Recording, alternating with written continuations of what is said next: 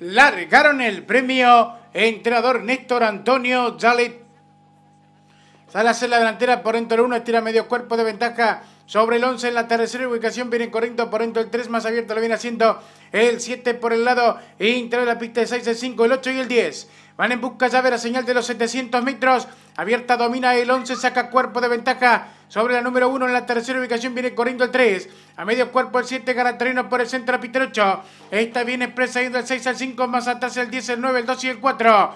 Enfrentan las competidoras. La señal indicatoria de los 500 metros. El 11 enseña el camino. 5 cuerpos de ventaja sobre el número 1. Más atrás el 3, el 5, el 6, el 12. Enfrentan los 400. Hacen el ingreso al tiro derecho final. Lo hacen en estos instantes como puntera. El 11 la habrán tirado cuerpos de ventaja sobre el número 1. Más atrás el 13, el 4, por dentro el 2. Descuentan los últimos 200 metros para el disco. No hay variante como puntera. El 11 enseña el camino. Tres cuerpos de ventaja sobre uno. En larga carga por el centro. Pista el último 50 metros para el disco. Fácil en el 11. Pocos metros para el disco. 6 por el 11. Claro, son la ventaja. La sonrigación viene corriendo el 1. Más atrás el 9, el 4, el 2, el 5. Y cruzaron el disco.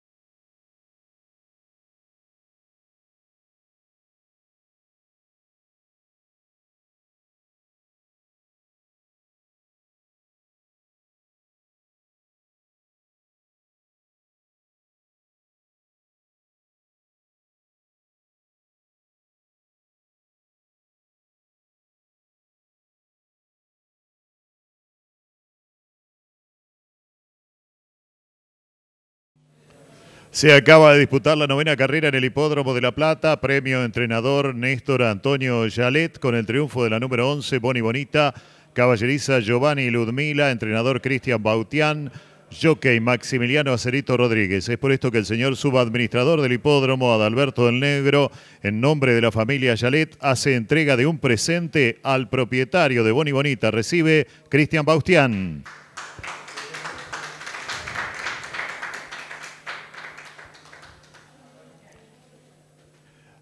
Acto seguido y en nombre del Hipódromo de La Plata, la entrega de una placa conmemorativa a la familia del señor Néstor Antonio Yalet. Recibe en su nombre el señor Adolfo Sosa.